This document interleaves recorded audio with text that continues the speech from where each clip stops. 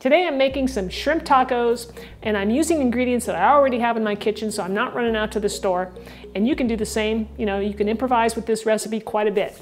I'm using, of course, frozen shrimp that I have. We're gonna marinate it with some wonderful spices. I also have some zucchini and some shredded carrots, which I'm gonna, you know, grill up and just get a nice crispy edge on them, make it taste wonderful. And then I'm gonna add some sort of coleslaw kind of dish I have some buttered lettuce with some radicchio in it, so I'm gonna chop that up, add a nice creamy dressing to that to add to it, finish it off with some cheese, and we're good to go. It's nice and healthy, and it's absolutely delicious. I'm Rockin' Robin, and I'm gonna show you how to do it right after our chef joke. All right, so here's our first chef joke of the day. The second one will be a little bit later. So what does a chicken taco say? Guac, guac, all right, so we're gonna start off with our shrimp. I have uh, wild caught. I like to use wild caught because, well, it's just a little bit, I think, healthier. So I've got some really large ones here. These are 13 to 15 count. So for me, I'm just making two tacos and I'm gonna use three of these because they're so large. So the directions say to, to just run some cold water over them for about five to seven minutes until they thaw out and then we'll peel them.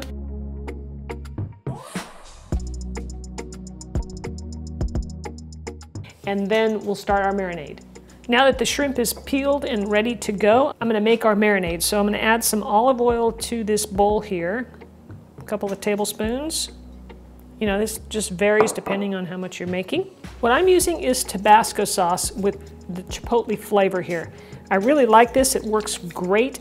If you don't have it, you don't have to use it. You can use your favorite.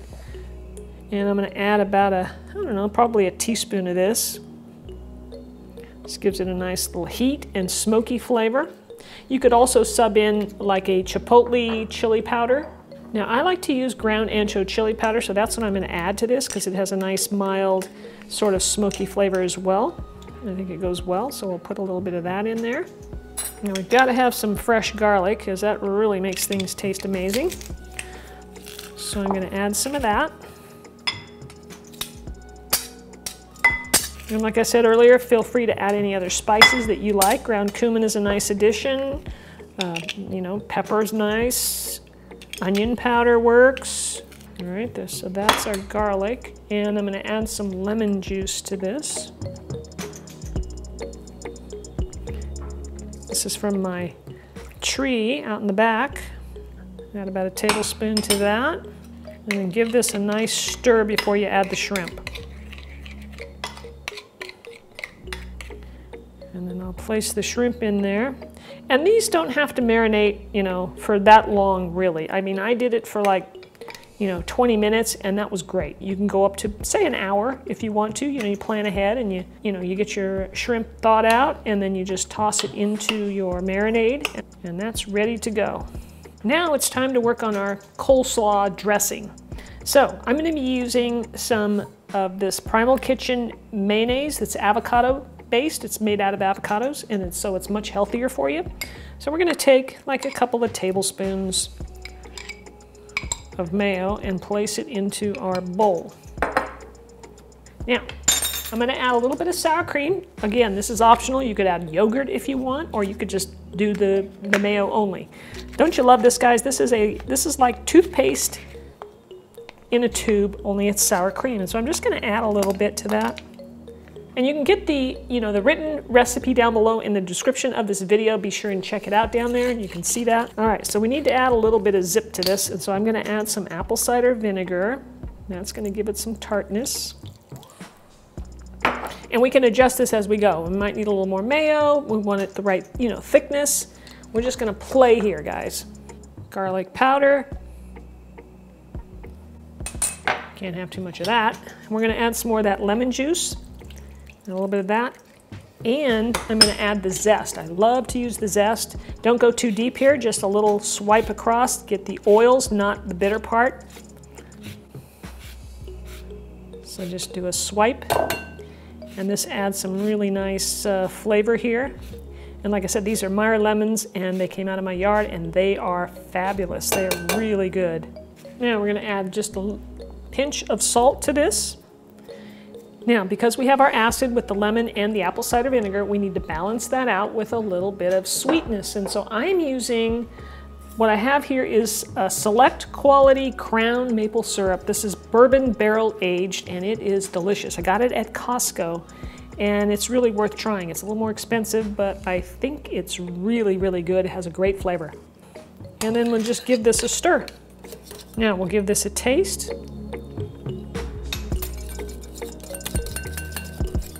And see what we need to add. I think it needs a touch more salt. And I think a little more lemon juice. And that's ready to go.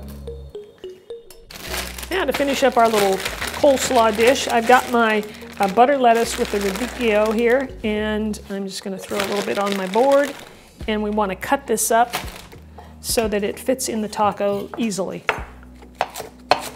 Now if you're using coleslaw, you know, then you wouldn't have to do that. So it just depends on what you have.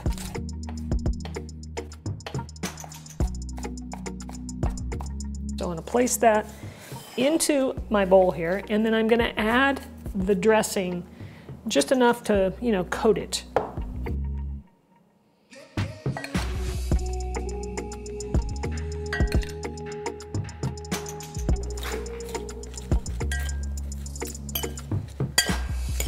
That looks nicely coated. And I'm gonna place this in the fridge and keep it nice and chilled until we're ready to serve it up. All right, the last thing I need to prepare is my organic zucchini. Remember we talked about uh, using a few extra vegetables. And I also have my uh, shredded carrots, but you can see that those are already cut up, so I don't have to worry about that. That's a nice little, um, you know, thing to use so that you can save some time. So I'm just gonna cut this up into, into chunks. All right, we're ready to head over to the stove and start cooking up our tacos. But before we do, I, I want to share with you chef joke number two. All right, you ready? All right, did you hear about the new quesadilla joke? Never mind, it's too cheesy. All right, we're gonna start cooking our veggies. This is a cast iron pan, which is what you would like to use. That's the ideal pan. You can see it's already smoking, so it's hot, and I want it to be hot. So I'm gonna add a little bit of olive oil to this.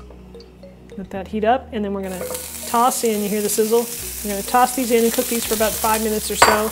I'm gonna add a little bit of salt and garlic powder just because I like, I like it. And we're just gonna stir fry these until they get a little bit of a crispy edge on them. So our zucchini's done. I'm just gonna place it in a bowl right back here and then I'm gonna cook the shrimp in the same pan. All right, our pan is still smoking hot. I turned it down a bit. Uh, I'm gonna add a little bit of olive oil to it. And we're gonna cook these shrimp like a minute to a minute and a half. Not very long because this pan is hot and we don't wanna overcook these. So probably a minute and a half, maybe two at the most. So here we go, we're gonna lay those right in there.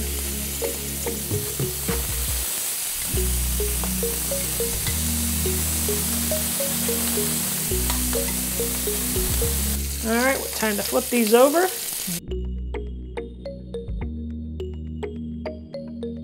Now I like to look right in here and see that these look like these are done. So I'm gonna take the shrimp and I'm gonna cut them up just because that's what I wanna do, but you can leave them whole if you want to, but I think the bite-sized pieces work well. I'm using corn tortillas for my tacos. You can use the small flour ones if you like. I have my uh, tortilla oven here and I'm gonna place a couple of my corn tortillas in it, pop it in the microwave for about 35, 40 seconds, and they will come out nice and tender and hot. Here's our hot, hot tortillas. I think you can see that they are steaming hot. Woo!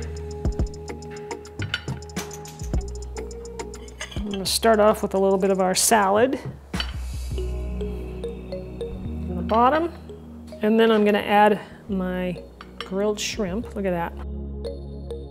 And then our grilled veggies on top.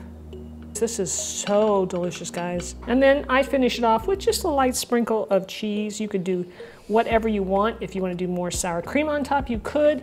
You could do avocado slices, chunks, guacamole, you know, whatever you want. My mouth is salivating. I can't wait to dig in because I know how good these are. And I think you guys really have to try them. All right, is gonna be messy, but that's okay. It's worth it. These are so delicious. You can taste the heat, you know, not too much, but I definitely can taste the heat in the shrimp. And of course the coleslaw, everything together, all the flavors, the grilled veggies, man, it's awesome. I tell you what, I've got a guacamole recipe that would be just fantastic with this. I'm gonna leave a link for you right over here. Go ahead and click that, make my guacamole recipe and add it to this. It's gonna take it over the top. Thank you so much for watching. Don't forget to subscribe to my channel. Smash the like button for me so that other people can enjoy these recipes as well. It really does help.